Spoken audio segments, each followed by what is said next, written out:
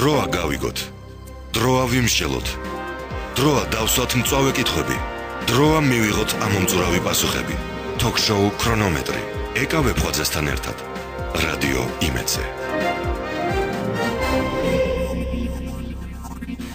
საღამშვიდობის ეთერშია გადაცემა ქრონომეტრი სტუდიაში ეკავებხვაძე მუშაობს ჩვენი დღევანდელი გადაცემის სტუმარი გახლავთ გლობალური კვლევების ცენტრის ხელმძღვანელი ნანა დევდარიანი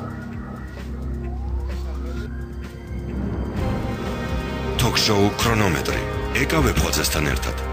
რადიო იმეცე.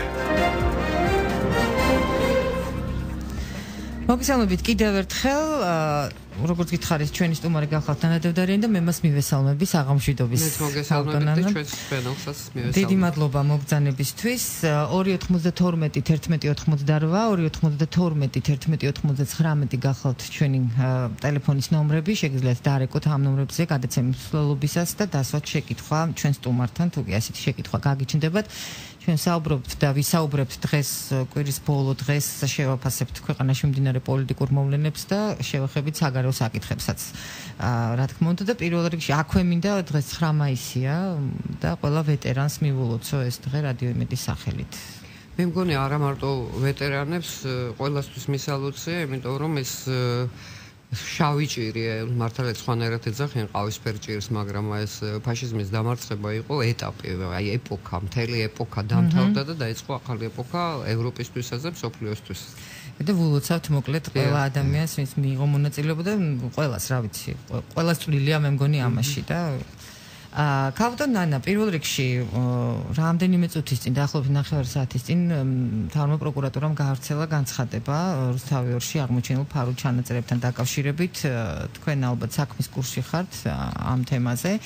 ვიცოდით აქამდე როგორი იყო ის რაც ნახეთ რამდენიმე დღის წინ ერთი კვირის წინ დაახლოებით რაც თავად რუსთავი ორის ხელმძღვანელობამ და ჟურნალისტებმა ერთობლივად გამართეს ბრიფინგი და ამცნეს საზოგადოებას რომ იქ აღმოჩენილი იყო ფარული ვიდეო ჩანაწერები შემდეგ დაიწყო გამოძიება. არა, აღმოჩენილი არა, მათ თქვენს რომ კეთილის მყოფელმა შინაგან საქმეთა სამინისტროდან მიაწოდა. კი, დიახ, მიწოდებული იყო, კი ბატონო და ნუ დღეს გამართა ბრიფინგი და ამ ბრიფინგზე გარკვეული დეტალები ხდება ცნობილი. პროკურატურამ განაცხადა, რომ ეს არის შუალედური გამოძიება და იქიდან გამომდინარე რომ არის ძალიან დიდი ინტერესი ჩვენ ჩავთვალეთ საჭიროთ რომ ეტაპობრივად მოგაწვდით ასეთ ინფორმაციას ამიტომ გაწვდით იმ ინფორმაციას რაც აი ამ წუთებში რატომღაც გახდა ცნობილი მე უბრალოდ ჩვენს ეთერში გავიდა ეს ბრიფინგი და მაინც ვიტყვი რამდენიმე ხნის წინ იყო და მსმენელებმა შეიძლება ბევრმა არ იცის ახლა ვინც გვისმენს რაშია რეალურად საქმე.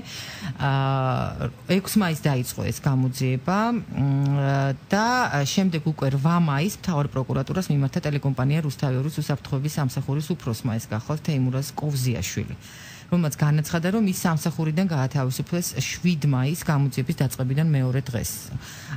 ასია ეხლა ეს მოცემულობა და მან განაცხადა, რომ კამერები 2012 წლის 21 დეკემბრის არის დამონტაჟებული, ეს არის მაშინდელი ჩანაწერები, სადაც აა მაშინ თურმე იმყოფებოდნენ ტელეკომპანიაში საქართველოს ყოფილი პრეზიდენტის მიხეილ სააკაშვილის დაქვემდებარებაში არსებული სახელმწიფო დაცვის სპეციალური სამსახურის თანამშრომლები.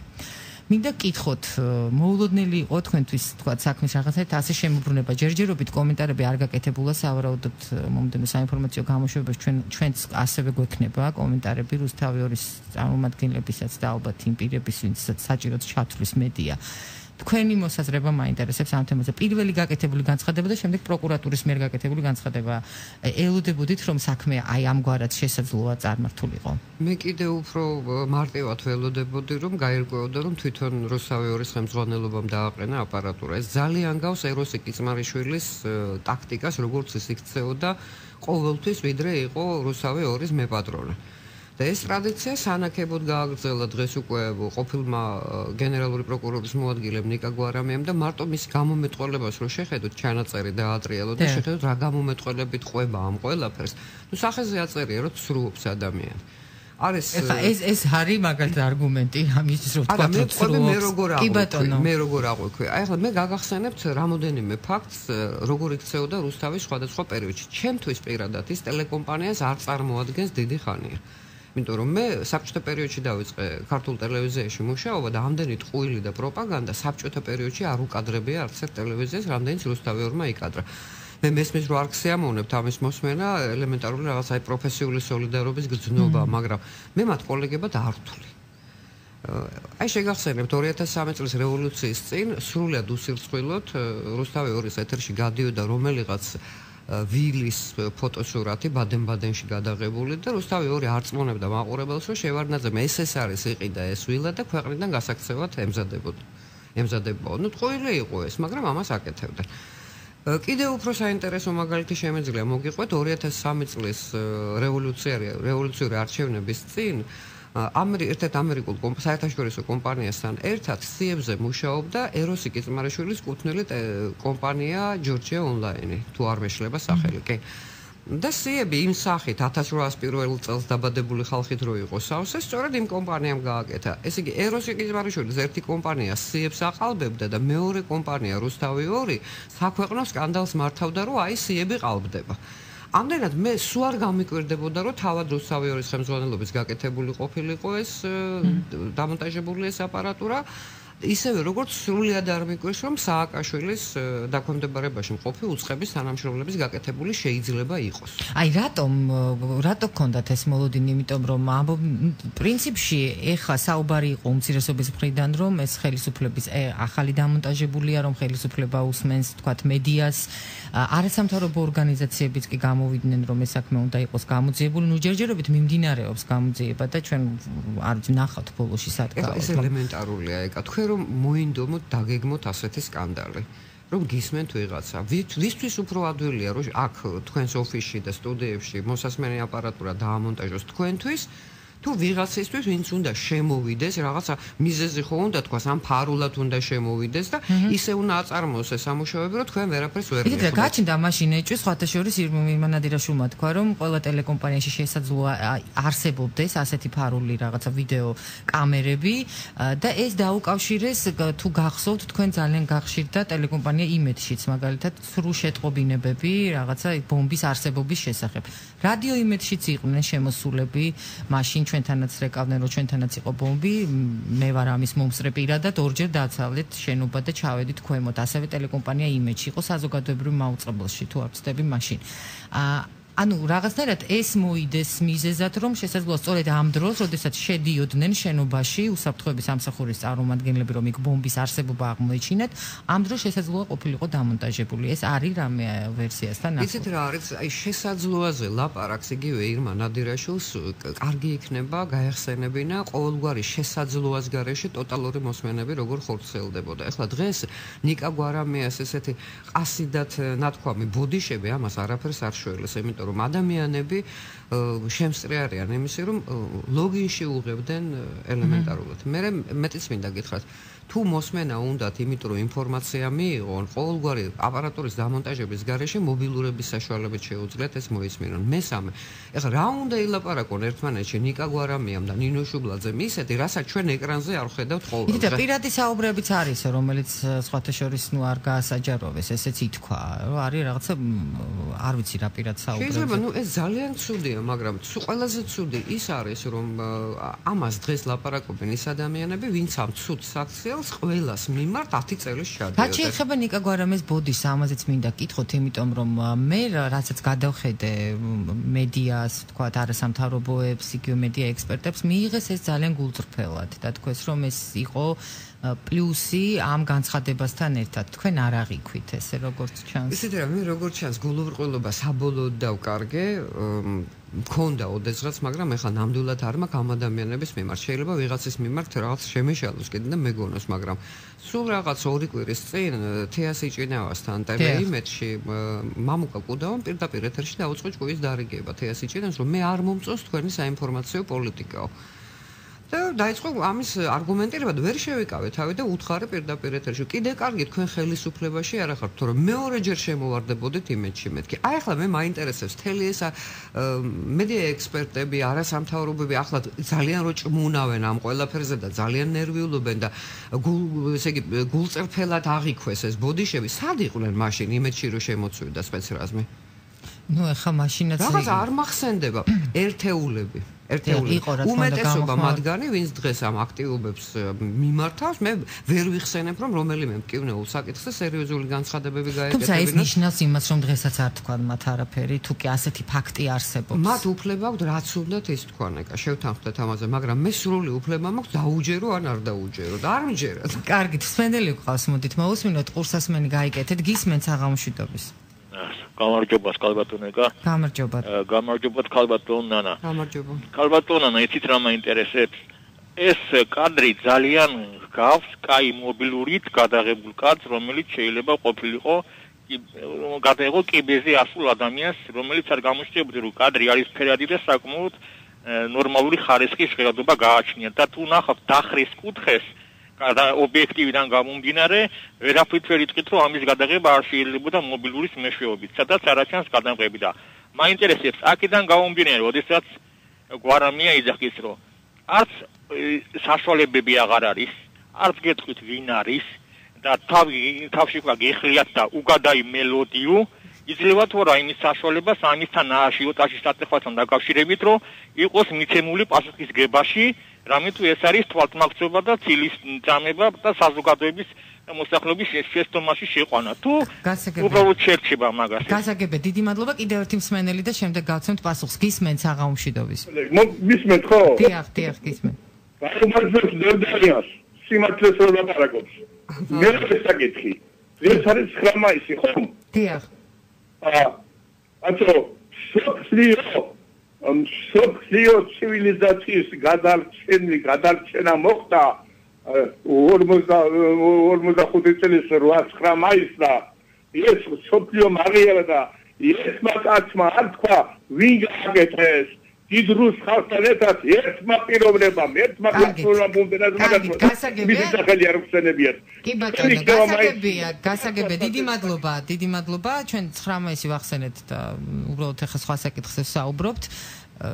არა რა კი მაინც ეს უკმარისობის გზნობა არის უნდა ითქვას იმიტომ რომ მართლაც ახლა სტალინზე ბოლო დროს ძალიან მოდაში შემოვიდა ტალახისშორლა სტალინის მიმართულებით ახლა ის საფლავიდან ვერ ადგება და პასუხს ვერ გასცემს მაგრამ სრული უსამართლობა იქნება დაიკარგოს. მისი ღვაწლი თუნდაც იგივე მეორე მსოფლიო ომის ასე დაგვირგვინებაში. ახლა ისტორიის გადაწერის მცდელობა არის. ამერიკელები ისე ხშირად უმეორებენ საკუთარ თავს რომ თურმე მათ დაამარცხეს გერმანული ფაშიზმი რომ უკვე თვითონ დაიჯერეს ეს და ეს რა თქმა უნდა ასე არ ყოფილა.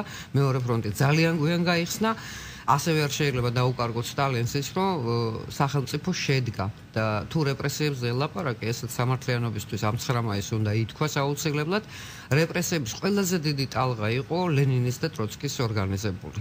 მაგრამ ლენინსაც და ტროცკისაც კაი პატრონები აღმოაჩნდა და ამიტომ ძალიან ხელსაყრელი და ასე ადვილია ხელი შეახოცო სტალინს რომ რომლის დროსაც და სხვათა შორის ბერიას მოსკოვში გადასვლის შემდეგაც რეპრესიების ტალღა იწყებს კლებას სინამდვილეში ისე რომ манипулირება ადამიანების ცნობიერებით მარტო დღეს არ ხდება. ამის წარსულზე პროეცირებაც ხდება. ანუ წარსული ცდილობენ წარსული შეგიცვალოთ. იმ დროს იყო ბევრი ცუდიც, მაგრამ იყო ძალიან ბევრი კარგი და ამის დავიწყება რა თქმა უნდა არ შეიძლება. და მეორე მსმენელი გადავდივართ მოსმენებზე.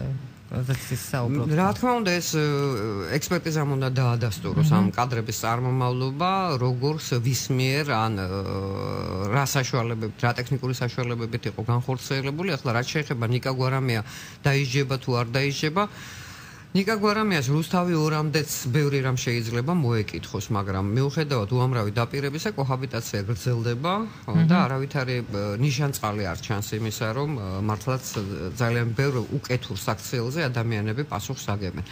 ამ შემთხვევაში მე ვფიქრობ, რომ საზოგადოებაში მართებულად შედება შეკითხვა, რომ ადამიანი, რომელიც გენერალური პროკურორის მოადგილე იყო და მაშინას ჩართული იყო აი ამ სატელევიზიო პროდუქციის წარმოებაში, რომელსაც სინამდვილესთან არაფერი ჰქონდა საერთო, ხო, აი ეს ფილმები მაქვს ჯაშუშებზე და ასე შემდეგ. აი იმაზეც არ მოეთხოვება მას პასუხი და დღეს ახლა ეს ადამიანი მართავს ტელეკომპანიას არავითარი პროფესიული გამოცდილება მას ამისთვის არ აქვს აქვს გამოცდილება ფალსიფიცირებული მასალით საქმეების შეკერვის და ასევე აგრძელებს რუსთავი ორში. საერთოდაც მაინტერესებს გაირკვა ვისი ეს რუსთავი ორი და რატო აღარავის აღარ აინტერესებს ეს თემა? ვინ არის მისი მფლობელი ну იქ რა რაღაცა სადაო საკითხებიც არის როგორც ვიცი ეს ძალიან ისეთი თემაა ეს არის უდაო სადაო საკითხები უდაო სადაო იმედზე მიხვდნენ უკვე იმ არჩევნების შემდეგ რომ ასე გაგრძელება აღარ გამოვიდოდა და დააბრუნეს ტელეიმედი მაგრამ რუსთავი 2 კვლავ ჩდება რჩება ერთი პოლიტიკური პარტიის იმ პარტიის, რომელსაც ბევრი დანაშაული აქვს ჩადენილი, შეცდომებზე რო არაფერი არ თქვა, იმ პარტიის სამსახურში. ეს არის პარტიული პრესა, აი როგორც გაზეთი პრავდა იყო კომუნისტური პარტიის ორგანო, ისე რუსთავი 2 არის ნაციონალური მოძრაობის ორგანო. ამ შემთხვევაში ტელემაუწყება. რეკლამამდე სანამ გავალთ ერთი წუთი გრჩება დაახლოებით და ეს თემა რო ამოვწუროთ, თუ კი თქვენი ვერსია, რასაც თქვენ ამბობთ, არის სიმართლესთან ძალიან ახლოს, რომ სწორედ მათ ინტერესებში შედიოდა, რატომ როგორ ფიქრობთ, აი ეხლა რატომ გახდა ამის გაკეთება საჭირო?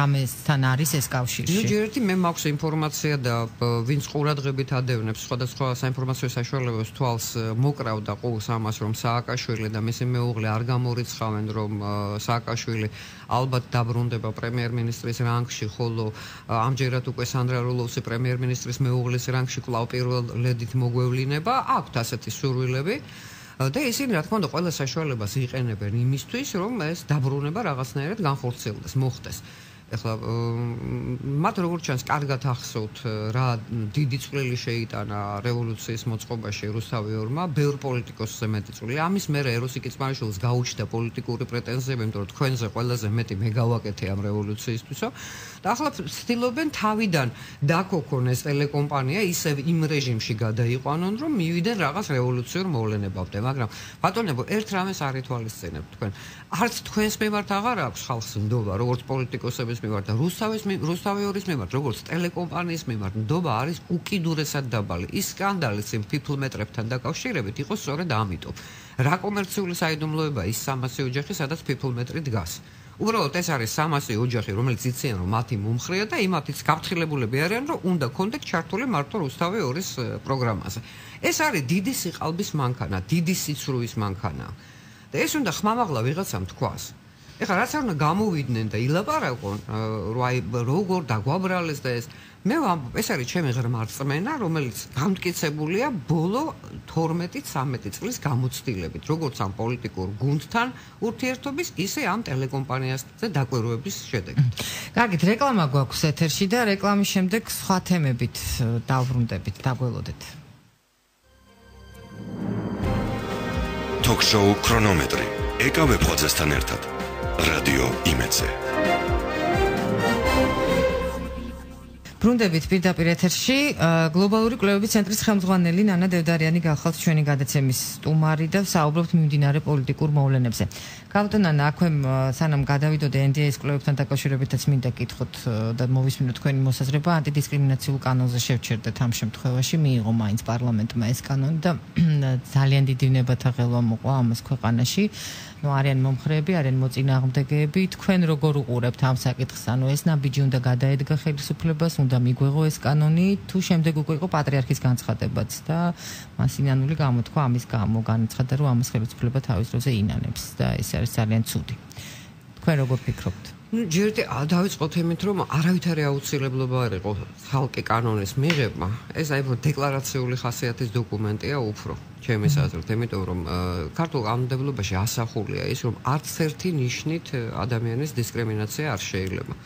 მათ შორის თვალისფერის მიხედვითაც კი ხო კანისფერზე რა თქმა უნდა კანონმდებლობაში ლაპარაკი მაგრამ დისკრიმინაცია საერთოდ არის დაუშვებელი მეორე საკითხი ის არის რომ ხალხს ყველაზე მეტად არ მოსწონს და სრულიად მართებულად, როდესაც მისი აზრი არის უგულვებელყოფილი. და სწორედ მათგან ვინც ხალხმა მოიყვანა ხელისუფლებაში. აი ეს არის ძალიან მნიშვნელოვანი. მესამე, მოდით ახლა ვთქვათ, მე შეიძლება ქაღალდზე დავწერო რომ ვალდებული ვარ მიყვარდეს ეკა ვებხვაძე. მაგრამ ეს არანაირად არ გამოიწვევს ჩემში მის მიმართ სიყვარულს. შეიძლება პირიქით აგრესიას დაბადოს, ხო? არ შეიძლება დავალდებულება აი ესეთი დამოკიდებულების, რაც კერძოთ ახლა რაზეა ერთ-ერთ კომპონენტზეა კანონში ლაპარაკი სექსუალური ორიენტაციის მიხედვით. ეხლა წარმოიდგინეთ მრევლისთვის, რომელიც რომლისთვისაც აი ეს დოგმატია ამის იქით განშა მთავრდება ყველაფერს, რომ ეს არის უმძიმესი ცოდვა და შეუწყნარებელია ეს სოდვა. შენ აიძულებ მიიჩნიოს ეს ნორმად, დასაშვებად, მეტიც პატივისცეს იმ ადამიანს, რომელიც მორწმუნე თulis რომ სოდავს და არის ღრმად სოდვაში, ხო? შესულ. ეხლა ეს კანონი როგორ უნდა დაარეგულირო? ვერანაირი ადამიანის მიერ დაწერილი კანონი საფრთხოს ჯულზე მაღლა ვერ დადგება. ეხლა ყველანაირად ეცადა პატრიარქი ასეც ისეც აეხსნა დაესაბუთებინა რომ იქნება არღირს აჩქარება. თუმცა გავდანო თუ კი ეს ბევრ სხვა კანონებში გვაქვს ასახული, რამდენიმე იყო ცალკე ამის გაკეთება. და რა პრობლემა იყო მაშინ ცალკეც რომ გაკეთებულიყო? მოდით ესე პრობლემა პრობლემა წარმოშვა სწორედ იმან რომ როდესაც შენ შრომის კანონთა კოდექსში გიწერია რომ ადამიანი არ შეიძლება გაანთავისუფლო რაღაც ნიშნით, ა პოლიტიკური შეხედულებებით, ან მის სექსუალური ორიენტაცია არ მოგწონს, არ შეიძლება გაუშვას სამსახურიდან, ხო? მაგრამ მე რაღაც არ მახსენდება რომ შრომის კოდექსი მაგალითად ჩვეულებრივ ჰეტეროსექსუალებს იცავდეს.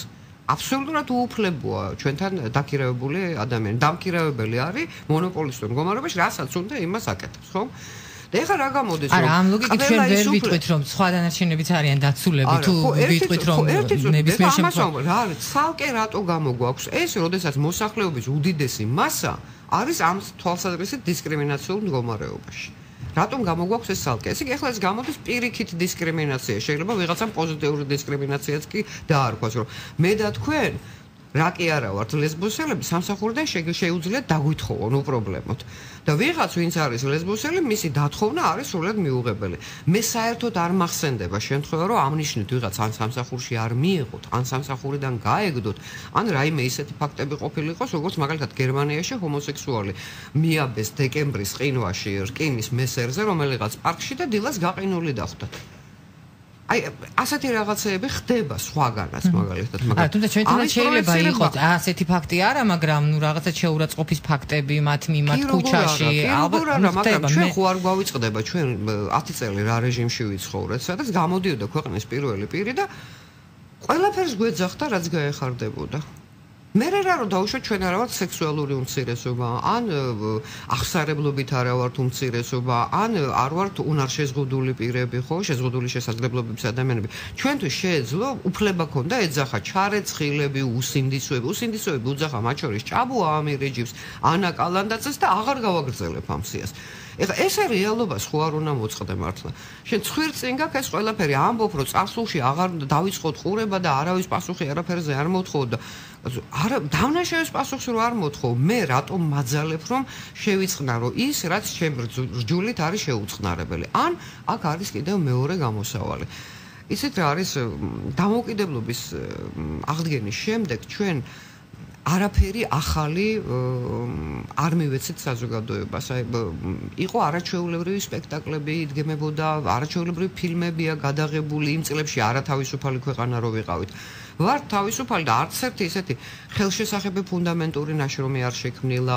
კინოფილმი რაღაცა ეპოქალური გახსენდებათ, ეხლა რომელიმე რაც ამ წლებში შეიქმნა. არა.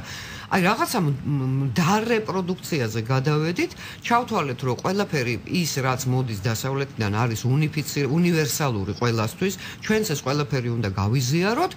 და რა თქმა უნდა ეს ხალხში იწევს ძალიან წყობა დისკრიმინაცია აი აპრიორი არ მეთანხმებით რომ არის დაუშვებელი და ეს კანონი სწორედ აქეთკენ იყო მიმართული. არ იყო აქეთ იმიტომ რომ პრივილეგირებული მდგომარეობის შექმნაზე როგორც კი მიდიხარ ვინმესთვის ეს ყველა დანარჩენი საშტატებას იწევს არის აქ პრივილეგირებული მდგომარეობა. იყო საშიშროება თქვა გამოთქმული იმის შესახებ და არაერთხელ უმრავლესობის წევრებმაც განაცხადეს რომ ეს არ დევს ამ კანონში ქორწინების შესახებ ერთს პაციენტთა ქორწინების შესახებ, რომ ეს არა არავითარ შემთხვევაში ამბობს, რომ არავითარ შემთხვევაში სექსუალური ორიენტაციის ნიშნით თქვენ არა გაქვთ დისკრიმინაციის უფლება.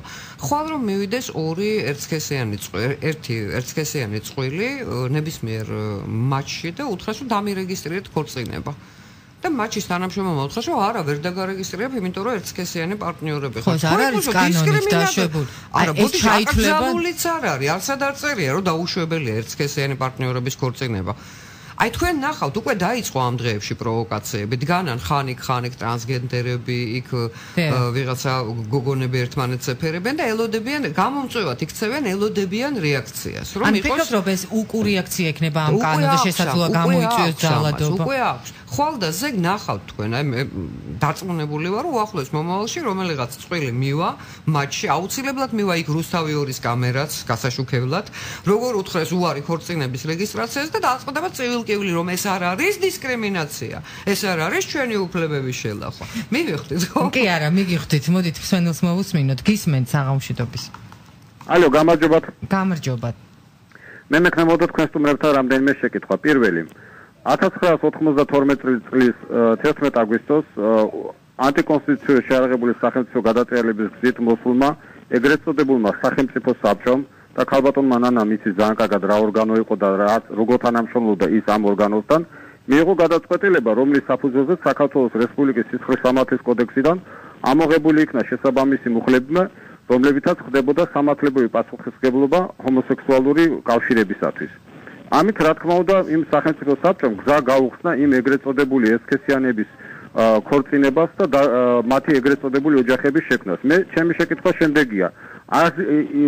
იმ გზნობს თუ არა საკუთარ პოლიტიკურ პასუხისგებლობას ამ ქმედებაზე?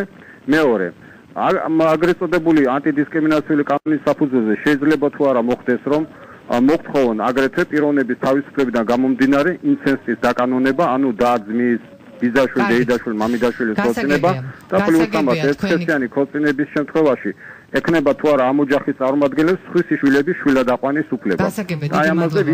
დიდი მადლობა ზარისთვის, ქავტონანო. так, ჯერ ორი შეცდომა, ორი შეცდომა რაც დაუშვა ჩვენ მომსმენელმა, შესაძლოა არა ინფორმირებულობის გამო, შესაძლოა მექანიკურად. 11 აგვისტოს არ შექმნილა სახელმწიფო საბჭო. სახელმწიფო საბჭო შეიქმნა მარტში. სახელმწიფო საბჭოსთან მე არ მითანამშრომელია არც ერთი დღე. არც მივსულ ვარ იქ არასოდეს როგორც ჟურნალისტი და რეპორტაჟი არ გამიკეთებია. მე მონაწილეობა მივიღე ოქტომბერში დანიშნულ არჩევნებში. თუ ეს არის პოლიტიკური პასუხისგებლობა, მე მას სრულად ვიღებ საკუთარ თავზე. მეორე ის რომ სისხლის სამართლის კოდექსიდან ამოღებული იყო ჰომოსექსუალური კავშირისთვის პასუხისგებლობა, მე ვთვლი რომ ეს სულ არ ნიშნავს იმას, რაზეც ახლა ჩვენ ლაპარაკობდით. ანუ პირადი ცხოვრება ყველაზე არის ხელშეუხებელი. მაგრამ ის სწორედ იმიტომ არის პირადი ცხოვრება, რომ ჩვენი ეროვნული კულტურა და ტრადიციები ვერ იტანს ამის სამზეოზე გამოტანას. და მე მინდა შეგახსენოთ პარადოქსი. დღეს ის პოლიტიკური გუნდი, რომელიც ასე თავს იკლავს ანტიდისკრიმინაციული კანონისთვის და ყველაფერი გააკეთა, რომ ეს მიღებული ყოფილიყო, მათივე პრეზიდენტის სააკაშვილის მიერ იყო შეტანილი შესწორება სიცოცხლის სამართლის კოდექსში, ადმინისტრაციულ კოდექსში, რომელშიც ახალგაზრდა ქალბატონს ერთმანეთისთვის რო ეკოცნა საზოგადოებრივ ადგილას ჯარიმა ეკუთვნოდა. ესე იგი, ეხლა ვერ გავიგე ჰეტეროსექსუალები ერთმანეთს თუ აკოცებენ პარკში, ამაზე ჯარიმა უნდა დააკისრო და ჰომოსექსუალებს დაუშვათ მისზე ამის სრული, ასე ვთქვათ, დემონსტრირების საშუალება. ამიტომ ჩვენ არც ერთი მოვლენე კონტექსტიდან ამოგლეჯილად არ უნდა განვიხილოთ. ამ რამდენიმე დღის წინ უსმენდი კომენტარს ნაციონალური მოძრაობის ერთ-ერთი წარმომადგენლისას, რომელიც ჯერ კიდე კანონის მესამე მოსმენით მიღებამდე ამუნათებდა ქართულ ოცნებას, რომ თქვენ თუ ამას არ მიიღებთ, ესე იგი თქვენ გინდათ ადამიანებს ძალა ძალადობა და თქვენ გინდათ რომ ქუჩებში ადამიანები ცემოთ. ყურებს ვერ დაუჯერე. ეს იმ გუნდის წარმომადგენელი ლაპარაკობს, რომელმაც 7 ნოემბერი მოაწყო, 26 მაისი მოაწყო და 120-ზე მეტი ახალგაზრდა ყავს ქუჩაში დახურეტილი პოლიციის ხელით. ამას გელაპარაკება და ეხლა შენ თუ იმის უნარი არ აქვს მოუტრიალდე. პარლამენტში ხარ უმრავლესობით, მოუტრიალდე და უთხრა რომ ყველა ყველა, მაგრამ შენ რა უფლება გაქვს ამ თემაზე საერთოდ დილაპარაკო. ეს უკვე არის მართველი გუნდის პრობლემა. ჩემი და თქვენი კი არა, მართალი გუნდის პრობლემა. გავდნა 17 მაისი მოდის და ყოველ წელს აი ბოლო წლები ამ 17 მაისთან დაკავშირებით არის ხოლმე გარკვეული რაღაცა საშიშროებები, მოშარშან ნახეთ რაც ხდებოდა 17 მაისს. როგორ წარმოგიდგენია წელს აი სწორედ ამ კანონის მიღების შემდეგ კიდე უფრო მეტი მოლოდინია რომ შესაძლოა რაღაცა მოხდეს, არ ვიცი, ემზადებიან გარკვეული ძალები რომ გამართონ აქცია. როგორ ფიქრობთ? იქნება ეს რაღაც საშრობის შემცველი არის ხელისუფლება როგორ და მოიქცეს ასეთ შემთხვევაში ხო აი როცა 17 მაისი მოდის ისე და შენ იცი გუშინ და გუშინ წინ რა ხდებოდა და ხარ მართველი გუნდი. აი ესე ჩქარჩქარა თან ამბობენ რომ ევროპას ეს არ მოუთხოვია და მეც რატომღაც გონია რომ ევროპას ეს არ მოუთხოვია და ჩქარჩქარა აუცილებლად იღებ ანტიდისკრიმინაციას და განცხადებებით რომ აი ხელშეკრულების ასოცირების ხელშეკრულების მისაღებად ეს აუცილებელი წინა პირობა არაფერი პირობები არ აქვს უნდა გითხრათ ასოცირების შეთანხმებას ამასთან დაკავშირებით. ასად არ წერია ასეთი რამ და თუ ვიღაცა ვიღაცა სიტყვიერად უთხრა. მე მაგალითად საერთოდ მოვისმინე ასეთი ვერსია სიმართლე გითხრათ ვერ ვიჯერე ბოლომდე ასეთი ვერსია რომ ევროპაში დაიღალენ იმ ადამიანებისგან ამ იმ რაოდენობით რომლებიც ამბობენ რომ ისინი იჩაგრებიან საქართველოს იმიტომ რომ არიან არატრადიციული სექსუალური ორიენტაციის და ეს ნაკადი რო შეწყდეს ამიტომ არის თითქოს მიღებული ეს ანტიდისკრიმინაციული კანონი. საერთოდ იცით რა არის ეგა? დისკრიმინაცია დისკრიმინირებულად თავს გრძნობს ადამიანი. აი სულ რომ არ იყოს, მაგრამ ასეთი შეგრძნება აქვს, ხო? რამდენიც არ უნდა უმტკიცო, რომ არ გჩაგრაო მე შენ, არ ახარ დისკრიმინირებული ხარ, თანასწორუფლებიანი. ასე გრძნობს თავს და დამთავრებულია. რატომ ჭირდებოდა მაშინ ხელისუფლებას თუ კი ის მისთვის წამგებიანი იყო, ამბობთ, აი ამგვარი კანონის მიღება და ასეთი დაჩქარებული წესით? როგორ ფიქრობთ? მე ვერ ხსნე ამას, სიმართლე გითხრათ. ნამდვილად ვერ ხსნი, იმიტომ რომ იმდენის აწონდაწონვა კი უნდა შეგეძლოს. ისეთ რა გამოდის, ნაციონალები ხელისუფლებაში იყვნენ და რასაც უნდათ აკეთებდნენ, ახლა არ არიან უმრავლესობაში, მაგრამ უმრავლესობას რასაც უნდათ აკეთებინებენ. კარგით, მოდით გადავიდეთ NDI-ის კვლევებზე. გუშინ გამოქვეყნდა პარტიული კვლევები, თუმცა მსმენელი ყავს ალბათ ამ საკითხზე, მოდით მოусმინოთ და ამოვწუროთ ეს თემა, ბარემ გისმენთ ვარ? დიახ, გისმენთ. აი, მინდა გავიგო ვართ ვარა დისკრიმინირებული მე მაგალითად. ვარ უსახკარო საქართველოში სოციალურად დაუცველი ინვალიდი და გადაგდებული სახელმწიფოსგან. აი ერთ-ერთმა კომპანიამ ამ გახალდარაძე რო ხელმძღვანელს გადაგვაგდო სასამართლოს დახმარებით. ნაღდათ აი გადაგვაგდო. პროკურატურა გვიწერს რომ ათლების ხარჯს სასამართლო არ არჩევს, იმიტომ რომ ხელმოწერა არ იყო ჩაბარებული დოკუმენტზე ერთ-ერთი ბოლოზე, ხო და აი ვართ ვარა ეხლა მე დისკრიმინირებული და აი რა არის მარტო ის არის რომ ის დაიცა რა ქვია სექსუალური ორიენტაციის ხალხი თუ ეს ხალხი ჩვენაირი ხალხი თუ დაეცა გასაგებია დიდი მადლობა არა მარტო ამაზე იქ არ არის საუბარი რა თქმა უნდა ჩამონათვალ სწორედ ეს არის პრობლემა სწორედ ეს არის პრობლემა რომ სახელმწიფო მოიხსნა ვალდებულება მოსახლეობის წინაშე და ეხლა შერჩევით უმცირესობების უფლების დაცვის დემონსტრირებას ახდენს. ეხლა გასაკვირია მარტო თბილისში 60000 ოჯახია უსახლკაროდ დარჩენილი იცით თქვენ და როგორც კი თითქოს პარლამენტ ახალმა პარლამენტმა დააპირა რაღაცის გაკეთება და იმ წუთშივე ამოაბრუნა ეს ფირფი და ისევ არ მიიღო გადაწყვეტილება იგივე იმ იპოთეკით დაზარალებულების შემთხვევაში და ასე შემდეგ. ეხლა გაგიკვირდება თქვენ ამ 300 ამ 60000 ოჯახის წარმომადგენელი რომ გამოვიდეს რუსთაველზე და ერთი ამბავი დაათიოს ან ქუთაისში ჩავიდეს და იქ პარლამენტს ერთი ამბავი დაათიოს. როგორ შენ ჩემს უფლებებს არიცავ, ხო? მე ელემენტარულად ადამიანური ყოფის პირობები არ მაქვს. შენი წილი პასუხისგებლობა ამაში არის ძალიან დიდი სხვა სუბიექტებთან ერთად. და შენ მე არ მიცავ და იცავ რაღაცა მოგონილ ფასეულობებს. მე ერთი მაგალითი მოვიყვანე გერმანიაზე, კიდე შემიძლია ცივილიზებული ქვეყნების პრაქტიკიდან მოვიყვანო მაგალითები, რაც არასოდეს საქართველოსში არ მომხდარა რომელიმე უმცირესობის მიმართ. კი როგორ არა ყოფილა რომ იეღოველების ლიტერატურა დაუწვავთ, ვიღაცა შეიძლება გაულახიათ მაგრამ ამას მძიმე შედეგი და გამოუსწორებელი არ მოყოლია როგორც მაგალითად სხვა ქვეყნებში. კარგით. და ბოლო გადაცემის ბოლო ნაწილში აუცილებლად უნდა მკითხოთ ამ კვლევების შესახებ. ამ კვლევების მიხედვით ქართული εθნების რეიტინგი საკმაოდ არის დაცემული რაღაც პროცენტ წინა კვლევებთან შედარებით. საინტერესოა პოლიტიკოსების ასევე მთავრობის წევრების რეიტინგები, სადაც ირაკლი ალსანია ლიდერობს, ასევე პრემიერს უსწრებს და მერობის კანდიდატების ასევე ძალიან საინტერესო რეიტინგი იყო NDI-ის კვლევებით.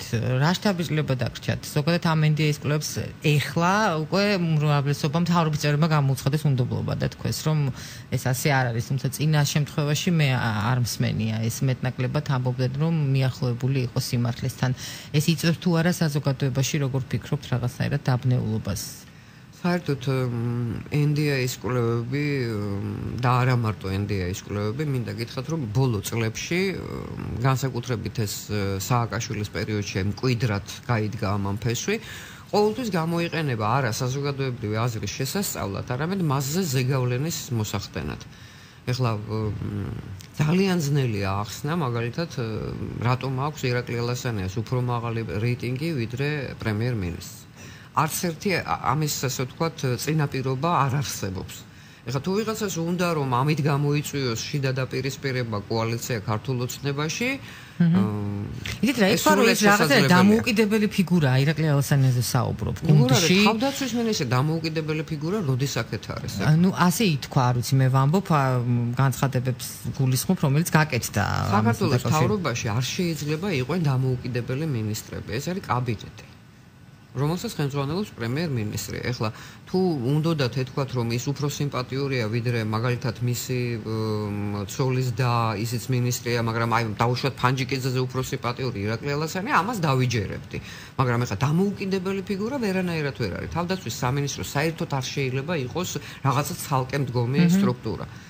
ასე რომ მე მაინც ვფიქრობ რომ თუმცა ბოლოდ რამ აი ორი დღის წინ მის მიერ გაკეთებული განცხადება მინდათ გაგახსენოს. თავდაცვის მინისტრს გულისხმობ იყო საკუთარ განცხადება გაკეთებული ვაშინგტონში ერთ კონფერენციაზე რომ ნატოს წევრობა ასპირანტ ქვეყნებს. განათავსონ თავდაცვითი საშუალებები საქართველოსიო მოუწოდა ასპირანტ ქვეყნებს რამაც ასევე ძალიან დიდი აჟიოტაჟი გამოიწვია საქართველოსში იმერლიშვილის განცხადება რომ ეს აუცილებლად უნდა ყოფილიყო შეთანხმებული მთავარსარდელთან უშიშროების საბჭოსთან.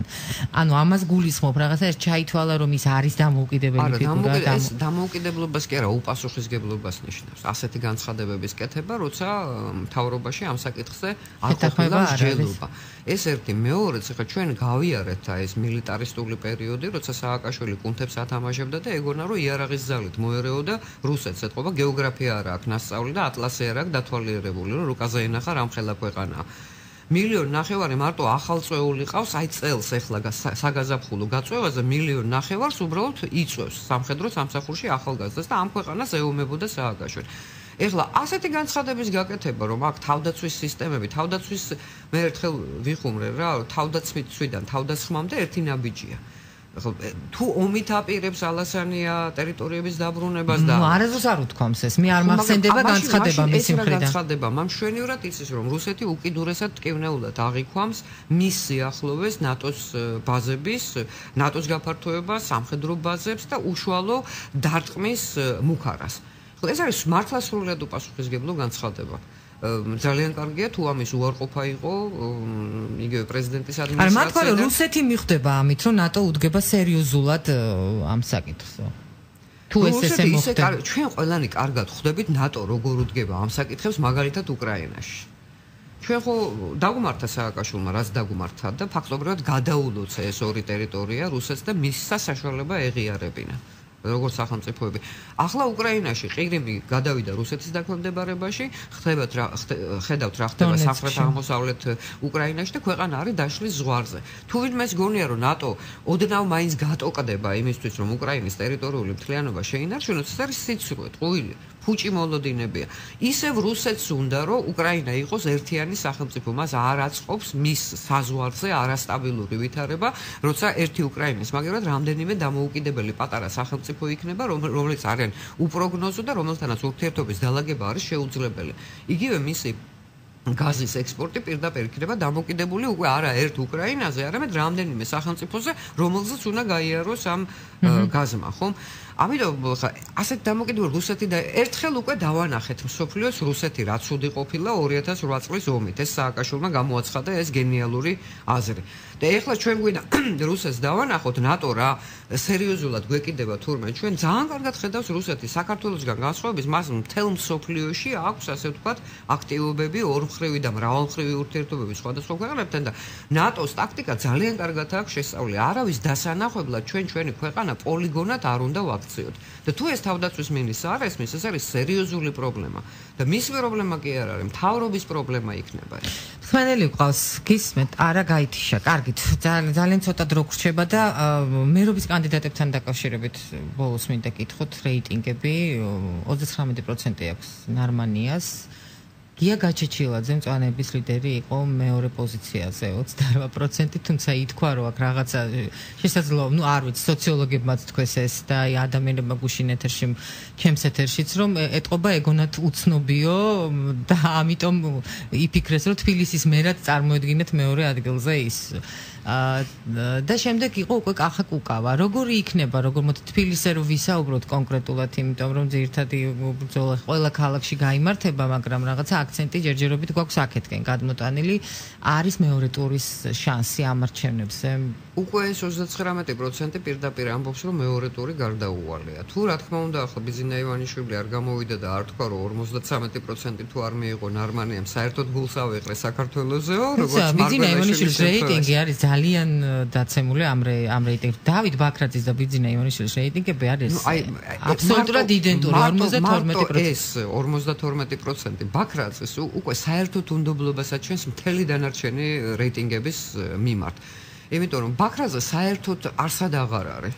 აი ასად აღარ არის. არც ჩანს არც მისი აქტივობებია ხა მე არ ვიცი თუ ნაციონალურ მოძრაობა გამოკითხეს იქაც ნაკლებს ავარაუდოა რომ 52% თუ 13% მიიღო მას ბაქრაძეს და ეხლა ივანიშვილის რეიტინგი როგორც არ უნდა დაეცეს ეხლა სპილო არასოდეს არ დაპატარავდება ისე რომ გახდეს თაგვი რა აი დაახლოებით ამას აგავს ეს ტოლი რეიტინგების გამოფენა ივანიშვილზე და ნარმანიაზე. ივანიშვილს გაცილებით მეტი წონა აქვს. მიუხედავად იმისა, რომ მე მისი ფანი არასოდეს არ ყოფილა, რომ უნდა ითქვას სიმართლე. მიუხედავად იმისა, რომ ის დღეს პოლიტიკაში არ არის, მისი რეიტინგი ყოველთვის არის გაცილებით უფრო მაღალი, იმიტომ რომ ის პრემიერ-მინისტრობის გამო კი არ გახდა ხალხში პოპულარული, იმ ქველმოქმედების გამო გახდა, რასაც წლების განმავლობაში ეწეოდა. კი რეიტინგი ალბათ დაეცემოდა, იმიტომ რომ ძალიან ბევრ ადამიანს არ მოეწონა, რომ მან ეს შემადგენლობა დატოვა პარლამენტის და მთავრობის და თვითონ წავიდა, იმიტომ რომ ყველაზე მაღალი ნდობა სწორედ მის მიმართ იყო, მაგრამ მაინც არ შეიძლება ისე დაეცეს, რომ ბაქრაძის რეიტინგი სტოლი იყოს. და ბოლოს ოპოზიციას, რომელიც ვერ გაერთიანდა ამ არჩევნებზე და მაინც რამდენიმე ბლოკად არის, აქვს თუ არა შანსი თვითმმართველობის არჩევნებზე, რომ მათ პირველი თუ არა მეორე ადგილი მაინც დაიკავონ ამ არჩევნებში, იმიტომ რომ იგივე კვლევებში ნაციონალური მოძრაობა აღიარებულია მთავარ ოპოზიციურ ძალად. Ну ხა რატომღაც არ მიკვირს ეს? იმიტომ რომ ყველა ძალით და ყველა მეთოდით ცდილობენ რომ მას შეუნარჩუნონ ეს მეორე პოლიტიკური ძალის სტატუსი რომ მოდესმე პირველის პირველ ადგილზე გადავიდეს.